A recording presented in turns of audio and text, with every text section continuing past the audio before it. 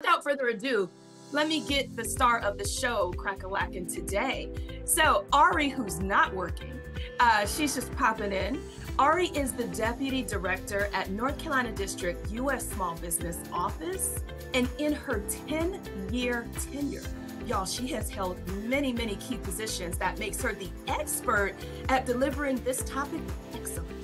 Ari, that's good, right? I have a whole full time job explaining and so in her tenure, you all, she's been a lead business opportunity specialist. That means that she has she has experience with pairing opportunities to businesses. She's been a lender relations specialist and so much more. Ari's information on LinkedIn is here for you. You'll also get an email to just click and get right to her LinkedIn. So that's one of the best ways you can contact her. And without further ado, I'm going to turn the floor over to our expert presenter. Ari, the stage is yours you so much, Don Nicole. And it's nice to see everybody. Thank you. Thank you. I'm very, very happy to be here. And I'm very honored to have been invited to speak with you ladies about um, federal contracting. So, one thing I can say, I just want to start off by saying so, you know, we've got like around an hour. I mean, this is it could take hours and hours and hours and hours so i just i just want to just kind of you know i'm going to give you as much straightforward information as i can within the time allotted. But we could definitely go on and on about this. Let me share my screen.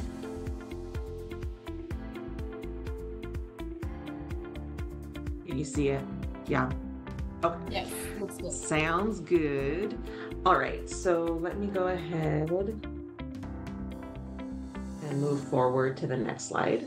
Okay, well, I mean, I should start off by saying I'm with the Small Business Administration. So I know Don Nicole already mentioned that. So the SBA, we're a federal agency. So we're um we're really the only federal agency that has a specific charge to work directly with small businesses and to provide programs and services and educate the small business community on the programs and services that can help their businesses either start, grow, expand or recover recover in a disaster. So i'm not going to go into all the details of all those different things because like i said that's you know we're talking we're focusing on certifications or we're really focusing on contracting here. But our core program programs are um, contracting in the form of federal certifications um, access to capital in the form of government contract um, guarantees to small business for small business loans as well as counseling in the form of our extended resource partner network including you know organizations that are part of our more informal ecosystem like um like where we are today. So um and then our disaster programs, which are not really administered out of our district offices, but in the times of disaster, SBA will um, ramp up different centers in disaster areas and help small businesses with you know any gap financing they may have or any needs they may have in terms of um, property damage. So that's my spiel on SBA. And every single state has at least one district office. So um, our state of North Carolina has one district office. I'm based out of Charlotte. But so I didn't hear if there were people, I didn't notice if there were any of you ladies that are outside of Charlotte today. Um, maybe some of the ambassadors are, I don't recall. But SBA has district offices all throughout the um, this this the country so um i'm sure your ambassadors can hook you up help hook you up with the local district offices or you can google information about the local sba district offices if you're in a different state and you have you know other questions and you want to work more locally with somebody but you can also reach out to me as well Awesome. Okay, so let's talk about supplier readiness. So on our virtual uh, Saturday series here. So objectives. Um, so we're going to go over the five common myths of government contracting. uh, suitability for government contracting, as well as um, things to think about when marketing your business to the federal government. Okay, so before uh, I start the formal presentation, there's a couple of slides here to kind of put in context the federal contracting space. Okay, so the federal government is, in fact, the world's largest buyer of goods and services. Um, which it always boggles my mind when I use that statistic. But when you think about it, you know, the federal government is not just one like organization it's a, it's a bunch of different organizations. It's SBA it's the Environmental Protection Agency it's the Department of Commerce it's the Department of Defense. So cumulatively all of these different organizations combined are the world's largest buyer okay? So the federal government purchases uh, about 700 billion dollars per year in goods and services um, and really, it buys just about every category of commodity and service. We'll talk a little bit about that in a second. Um, federal agencies are required to focus and spend 23 cents of every dollar on small business. So there is a requirement uh, that Congress has set to all federal agencies that 23 cents of every dollar is supposed to go through small business contracts. Um, and the, the government uses the North American Industry Classification System codes, or NAICS, or NAICS, or NICS. You kind of hear different versions of it, but it stands for North American Industry Classification Codes. Those are the six digit codes that are tied to all of the legal industries in North America. So that's how, so you have to know your NAICS codes. And that's like one of the first things you need to know in order to kind of set yourself up um, to get started and working with the federal government.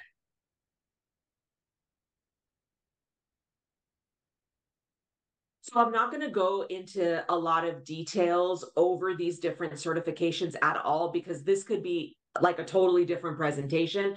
But I was talking about that 23% um, requirement. So the government further breaks down that requirement into subgroups, so sub goals.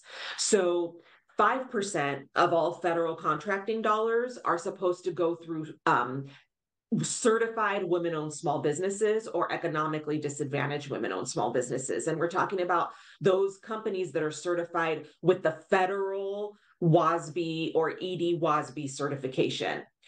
Um, 13%. Eventually, it's going to be by 2025, it'll be 15%. Um, the federal government has a goal of, of 13% of all federal contracting dollars going to small disadvantaged businesses. That was actually increased from 5% by the Biden Harris administration. It used to be 5%. Now it's going to eventually be 15%, but it's 13% for this fiscal year. Um, and that includes the 8A program, which is a federal contracting certification program, which is for socially and economically disadvantaged small businesses.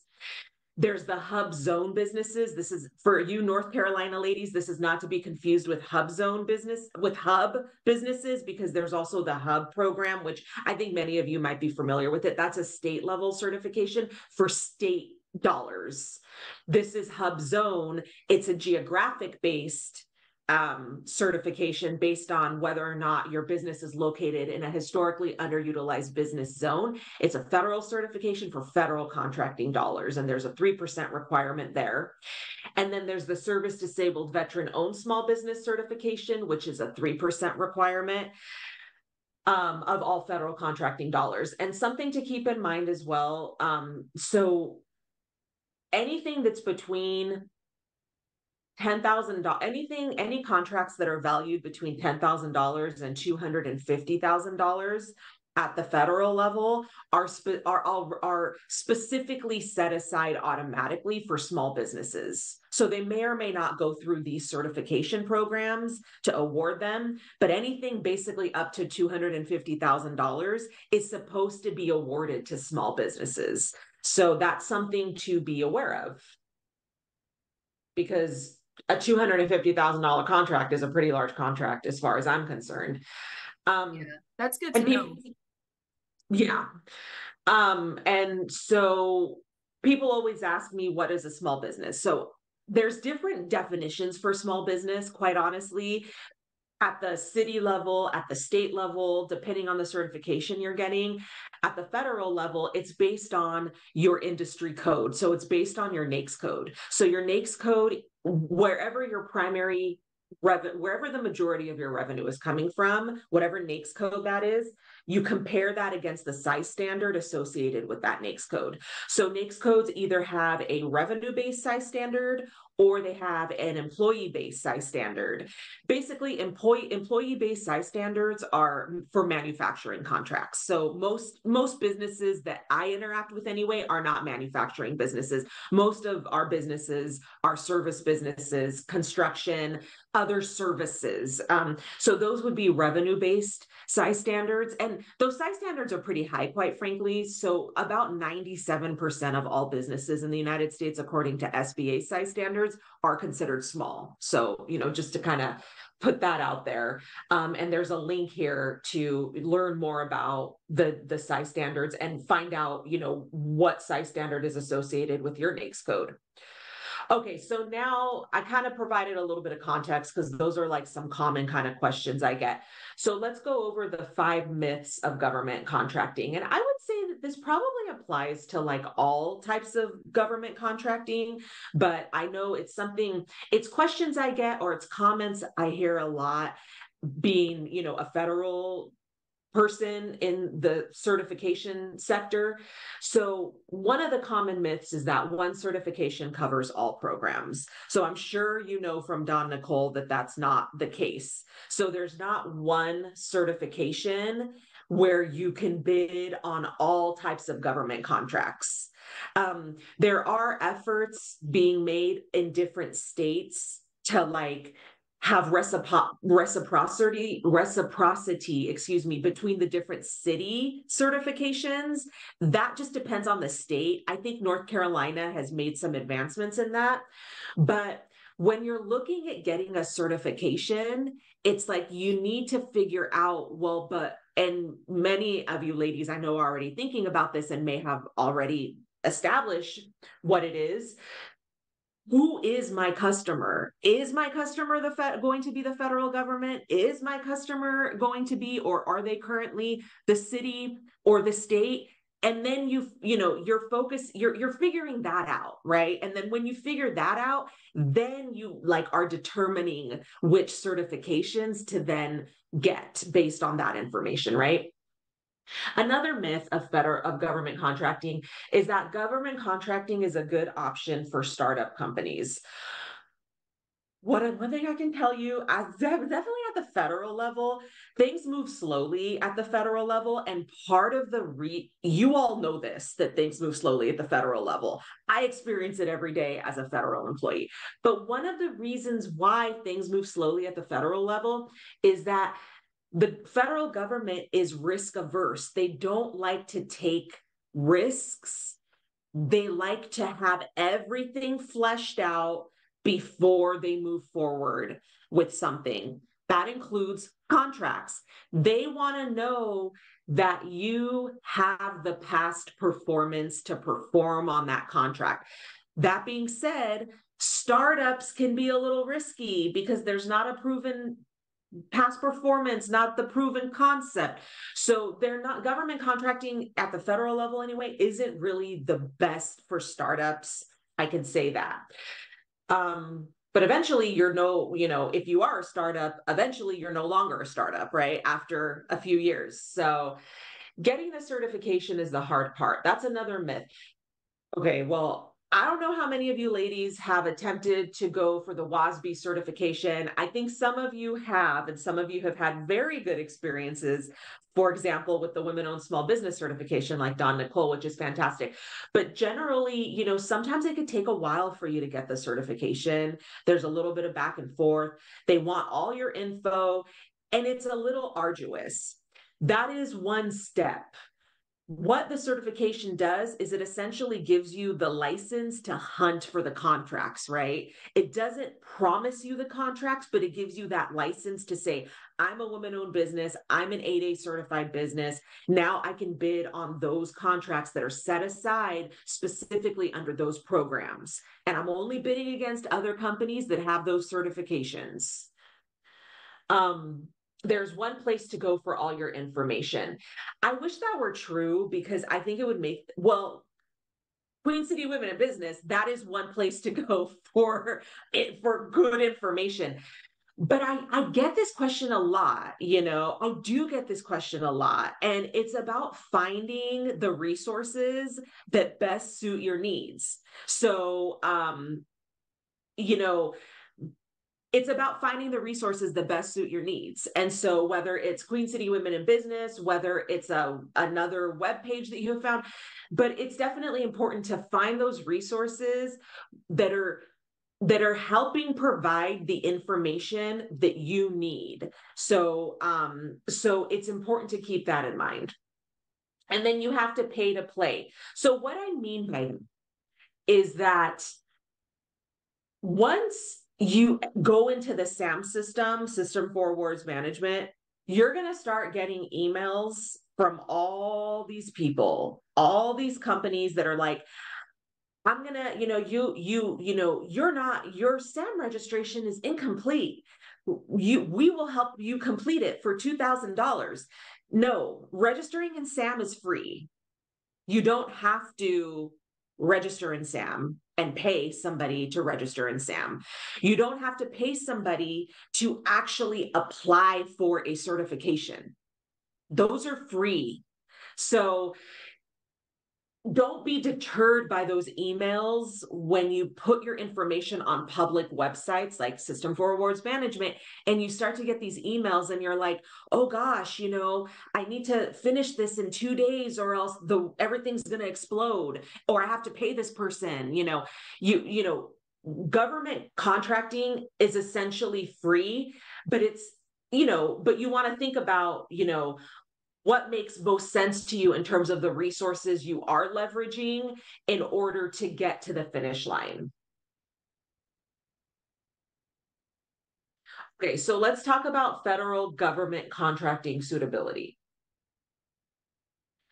Okay, I want to make sure I'm respecting everybody's time. Okay, so um so again, do you have what it takes or what does it take really is I think a better um, question to ask. So these are some things for you to think about when you're thinking about federal, you know, entering into the federal government contracting space. Um, so does the government buy what you sell? So I'm going to go into that in in a little bit here, but that's the the government the, the federal government buys everything right? But it's important to think about which agency buys what i sell because not all agencies are buying everything okay? It's like you know the environmental protection agency might be buying a lot of research services right? Because they want to research soil or they want to research water or something like that. But maybe Health and Human Services is buying a lot of supplies, like medical supplies. Um, so it's important to think about and do research. And we'll talk about that in a second on what does the gut, you know, who in the federal government is buying what I'm selling? That's like the first question to ask yourself because, like I was mentioning before, $700 billion, that's not just coming from like one entity, like one central entity. That's like, well, you know, some of the supplies are being purchased there, the research dollars are going there. You know, who's my who's my market? Who's my customer? Do you have federal contracting experience? Meaning do you also have so do you have the federal contracting experience but do you also have kind of like those nuts and bolts to be able to like like perf- like ramp up and perform on a contract? So we'll talk about that stuff are you capable of fulfilling a government contract? Do you have the past performance? Do you have the relationships with other organizations or other organizations and other entities to perform the contract? Do you know where to find contracting opportunities? Okay so do you you know does the government buy what you sell? So the first thing you're really going to want to do is you're going to want to gather information analyze that information and really determine you know based on your product based on your service who at the federal government level is your target market. I'm going to um there's a slide toward the end of this presentation on some websites that you can use to do analysis of government contract buying, historical government contract buying. That's where you should be looking to really understand okay, this is my product or services service. Now, let me start narrowing down which agencies or organizations within the federal government are buying this supply or this service. That's you know one of the first things you should be asking yourself. And based on that information you might you might find well wait a second. Government buys everything but maybe they don't really buy a lot of what i sell you know so is it does it make sense for me to kind of go after these federal certifications and start you know expending time and resources to market myself to the federal government if it's maybe like such a niche type of um, service? Because maybe the service is being, you know, we're in North Carolina, maybe the service is being purchased in Alaska, you know, so it's like, wait a second, you know, does it, am, am I going to have to go to Alaska to provide that service? Yes. Ari, I have a quick question. Mm-hmm. Can you hear me? Okay. So we're I'm getting some direct questions. Um, and not to interrupt, but I know you wanted it to be somewhat interactive too. Um, the women are asking, are you a going to provide this slide or a few links that you could give to me at the end? Because they all keep asking for the links. Um, and we can provide those in the email afterwards. So I just wanted to ask that question. So There are I do have links on this presentation and I can um this well, you can share this presentation. Perfect. I'll send okay. it to you. Lovely. All right. Thank you. Uh-huh. Yes. Yes, that's a good question. I should have I should have answered that question before you all even asked it. Sorry about that. So, um yes. So again, you know, thinking about doing the research first to determine who in the federal government is buying what I'm selling and then that's going to help inform your your strategy on expanding into the federal space.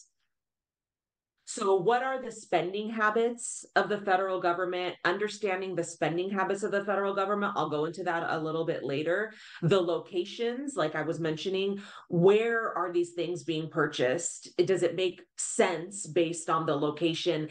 Do I have the capacity as a business to go to this, you know, state?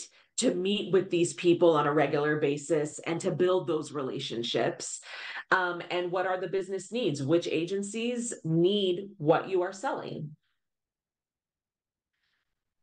okay so the next section so can you perform a government contract so do you have the past performance but also things to think about so one of the important things to keep in mind about federal contracting is First of all, the government contract pays. They're not going to skip out on paying you. And that's one of the reasons why businesses like to work with the federal government because the federal government pays its its suppliers, its vendors, you know. But the thing is is they don't pay their suppliers or vendors upfront. So are you going to be able on these contracts do you have the cap- the capacity to front and float these contracts before you're getting paid for them. Sometimes payment can come in 30 days from the completion of the contract. Sometimes it could come 45 days, sometimes 90 days, depending on how much back and forth there is. Um, you know, with settling the invoices and the payment processes. So it's important to think about. So, you know, people, you never want to go to a lender when you need the money, right? Um, these these are what are called the five C's of um, of capital, but these are also things to think about internally within your business. Um like do you have adequate cash flow? And this is adequate cash flow to repay a loan but this is also adequate adequate cash flow to float a contract until you get paid. Um do you have the collateral? So um something to think about if you do have to plan to obtain like a working capital loan to float a contract until you get paid do you have the resources within your company to be able to go to a lender and to um, request a working capital loan?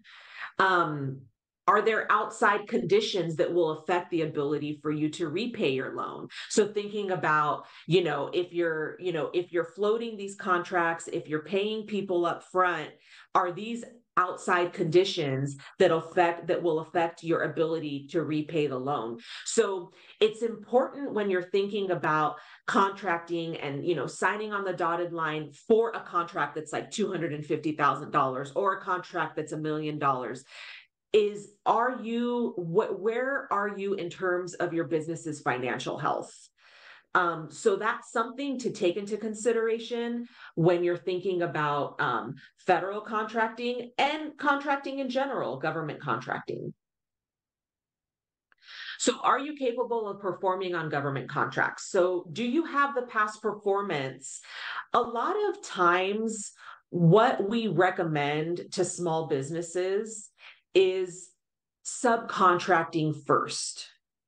Um, as a way to gain first of all knowledge on that that sector of contracting so if it's you know state contracting consider subcontracting first to a prime contractor if it's federal contracting, consider um, subcontracting first to a prime contractor.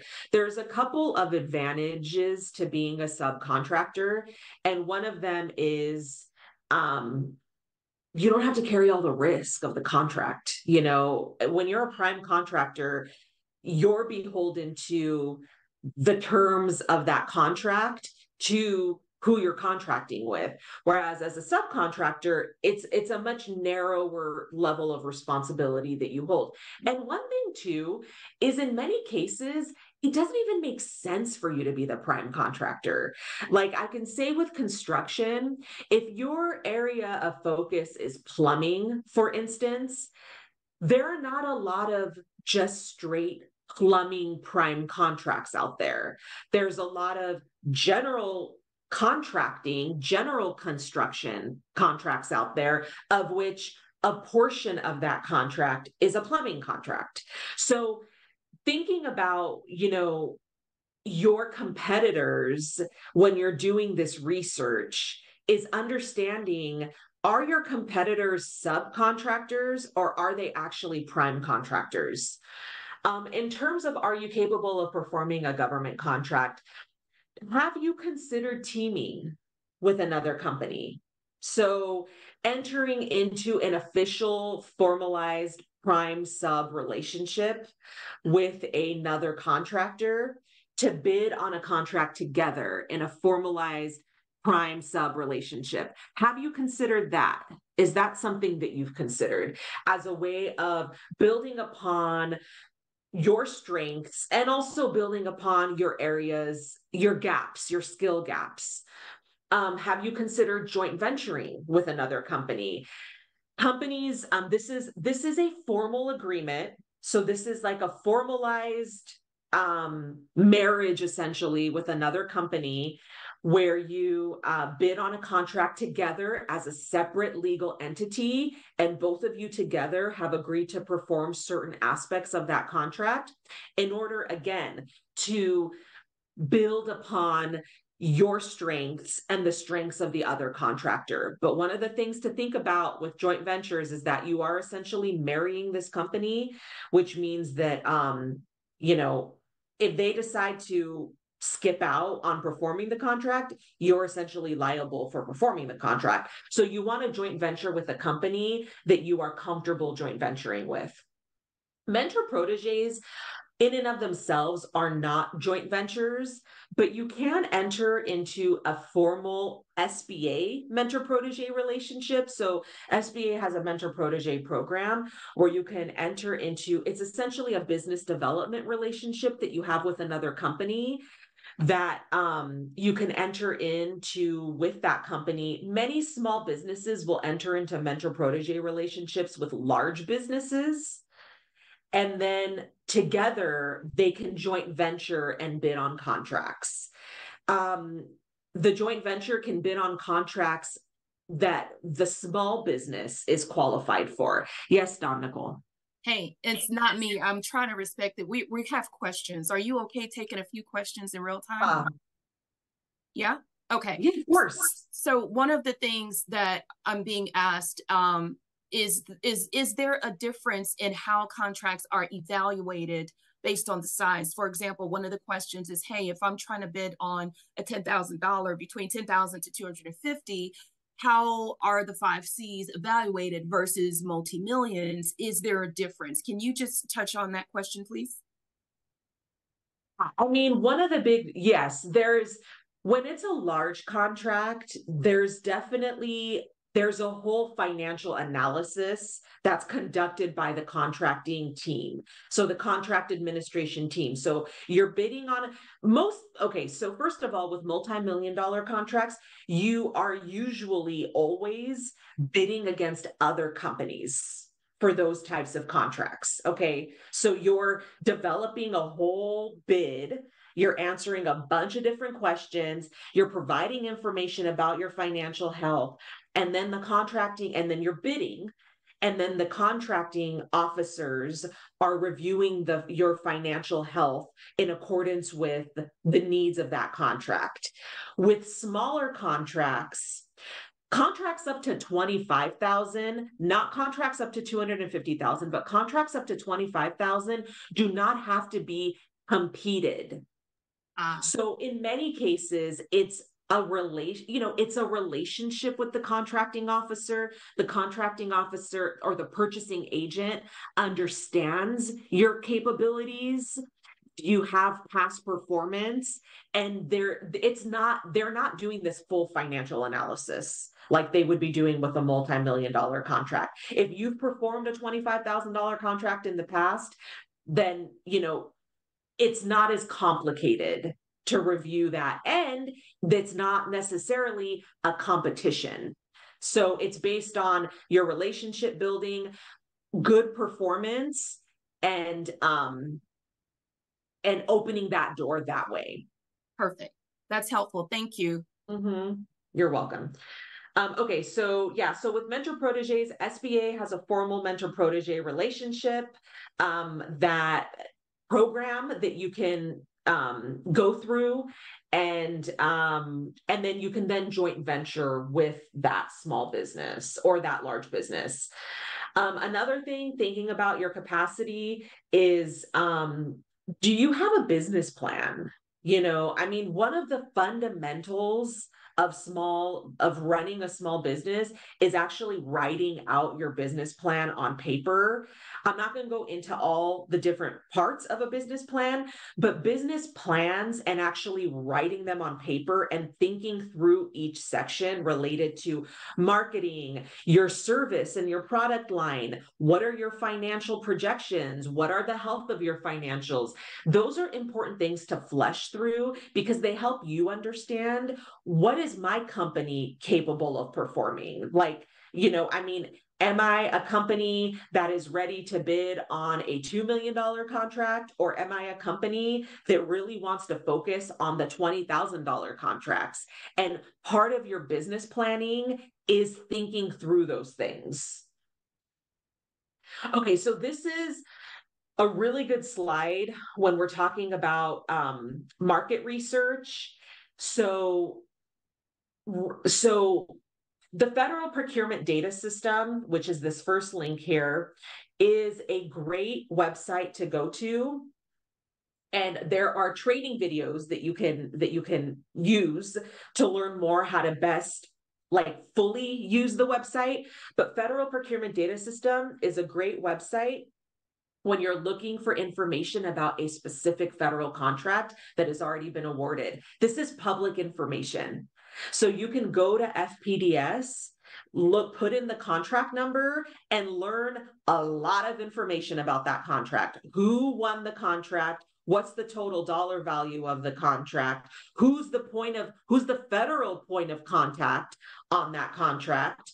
um, what's the period of performance for that contract there's a lot of information you can learn so USA spending is like a user friendly version of federal procurement data system, but USA spending is good. You could pull reports on USA spending when you're doing your market research. You could you could pull different criteria in USA spending. Like you could pull criteria fiscal year 2023 for this particular NAICS code, let's say a um, construction services NAICS code in the state of North Carolina, where the contract was performed in North Carolina.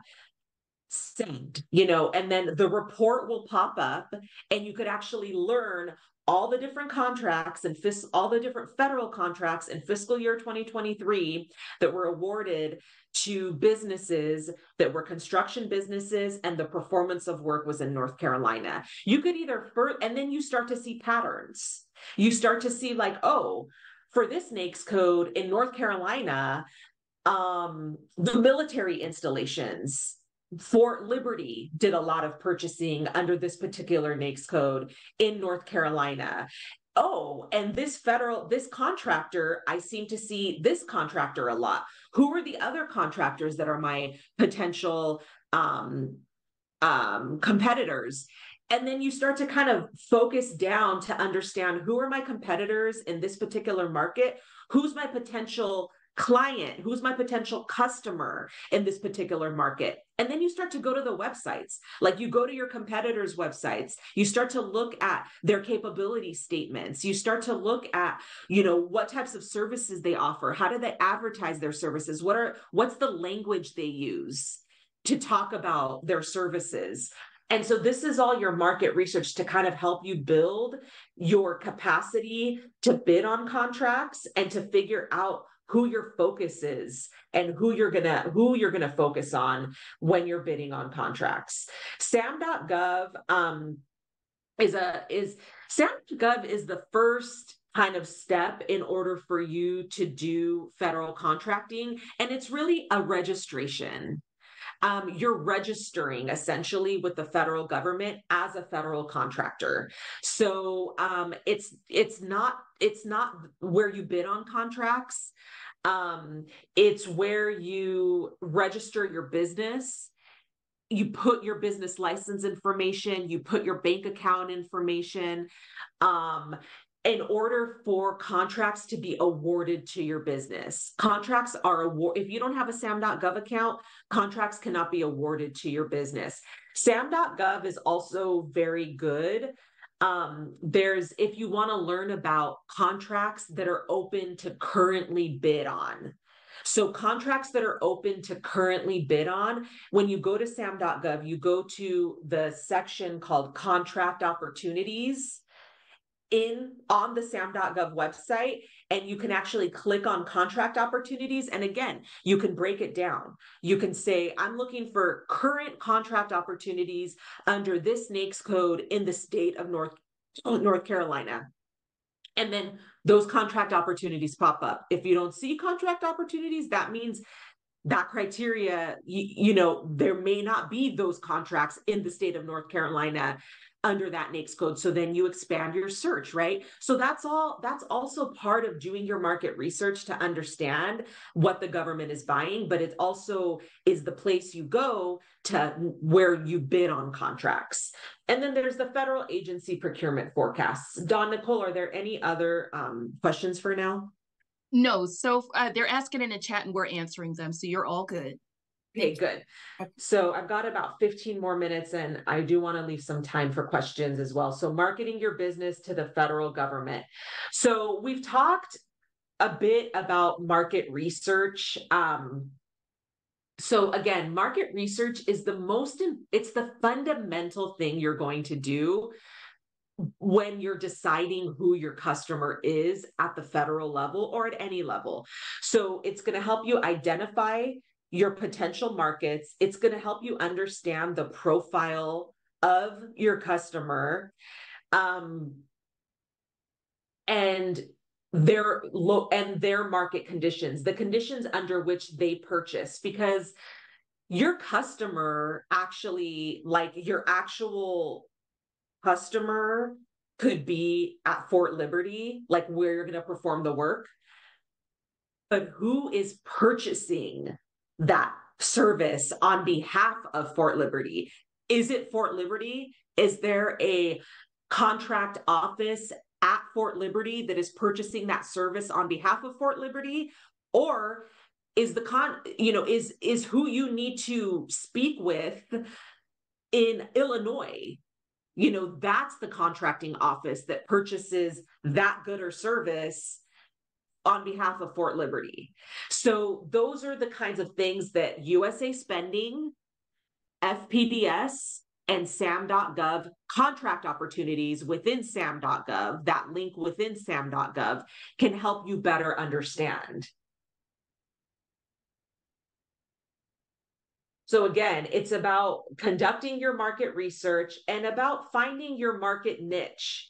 So understanding who are the competitors within your particular niche, what are their competitive advantages, and how do you market yourself differently from them? Um, determining your position. So, again, how to market yourself differently, and also really understanding. So, when I'm talking about market niche, it's really understanding, um, you know, how to pitch yourself. So, um,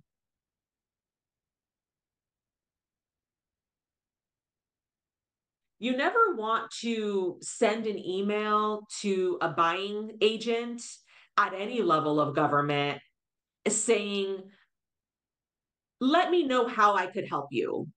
No, you want to know because you've done the research. You want to know what their needs are and how you can help them. And you want to tell them in straightforward language, this is how I could help you.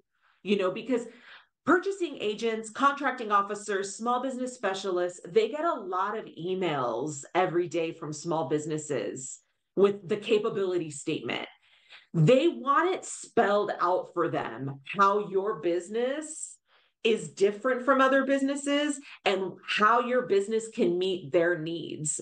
And that's why it's important to always, you know, focus in on a couple customers and a couple clients so that you can really understand them and you can really help them meet their needs and articulate to them what it is that you do that can help them meet their needs. And it may not be federal clients, you know, it may be a different level of government that makes the most sense to you, but that's something to take into consideration.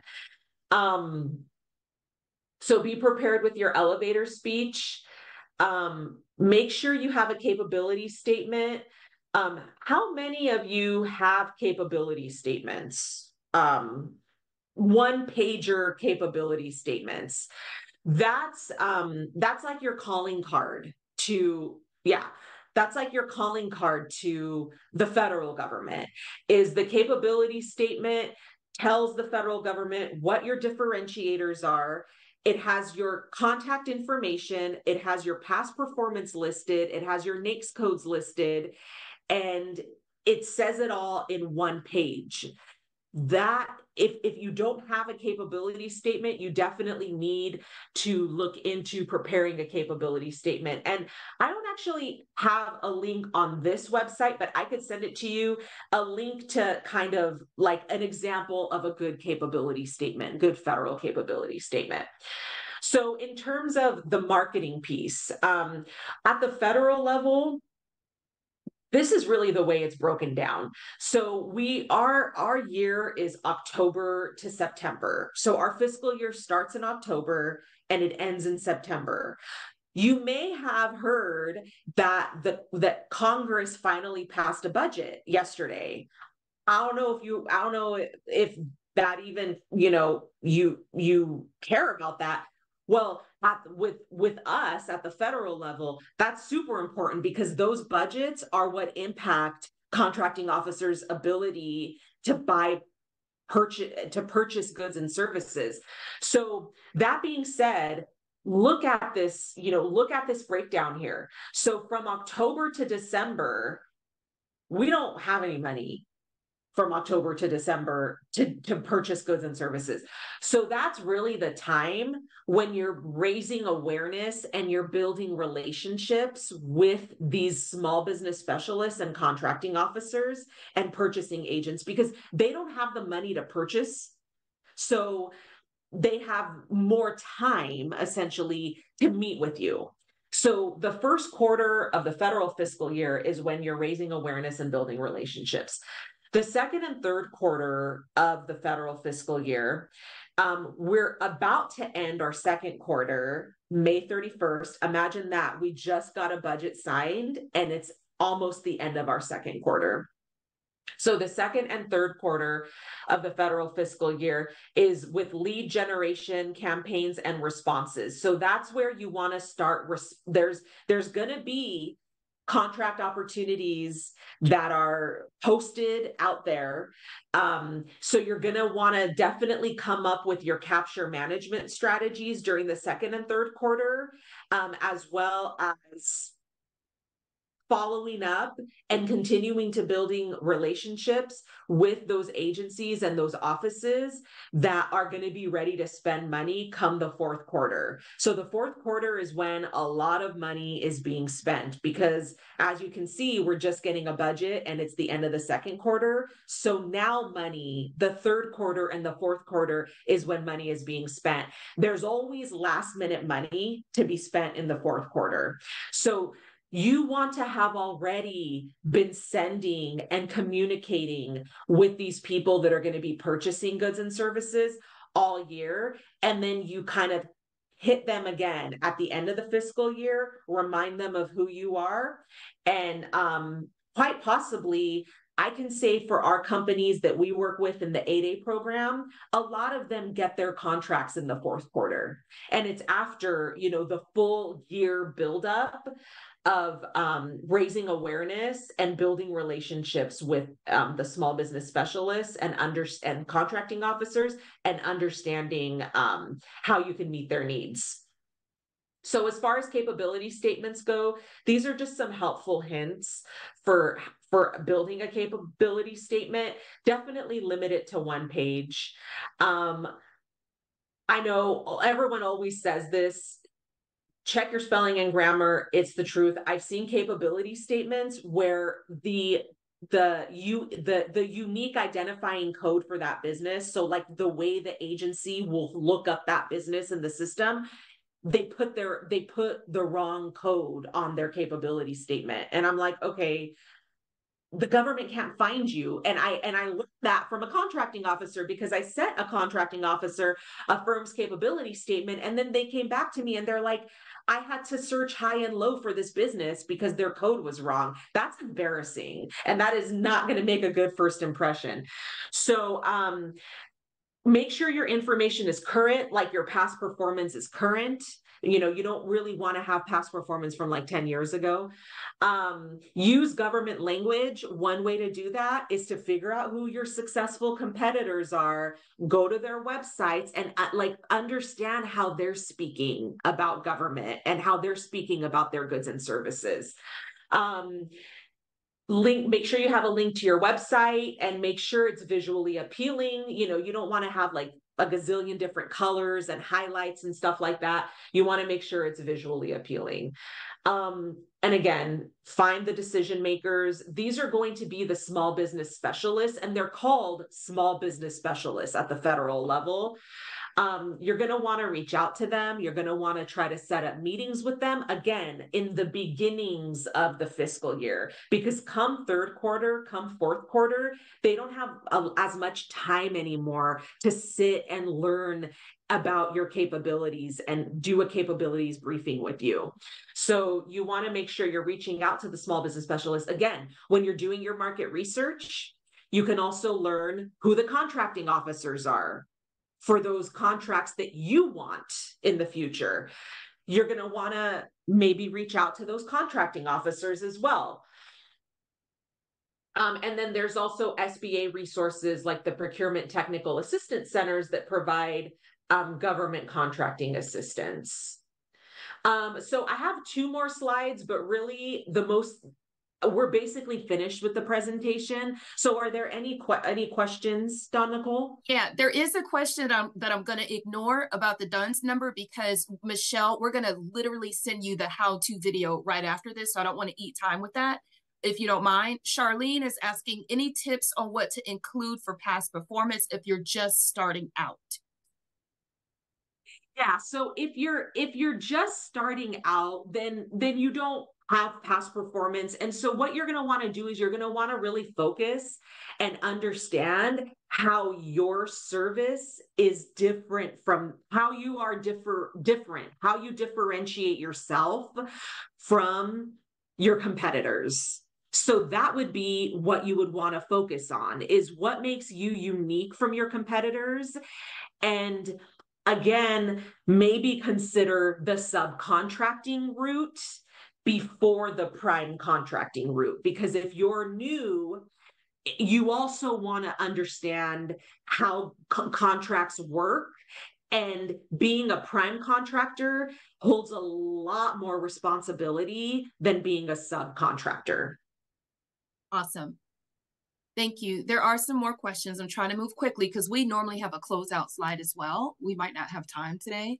Um, we also have Angel says past performances. Yes, that can you touch on the DUNS number from a standpoint when so I have my WOSB and a few women do on this call, right? Um, Ari, and how important is I noticed that the DUNS number doesn't seem to be a priority anymore. Is that can you just talk about how critical or not that DUNS number is to federal contracting?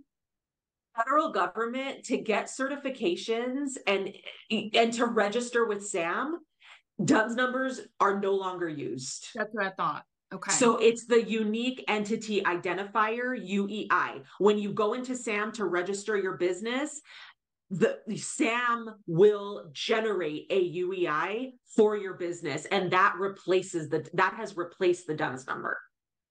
Perfect. That's what I thought. We can take one more question and then I'd like to, if possible, just do a closeout. Is there a, one more question, ladies?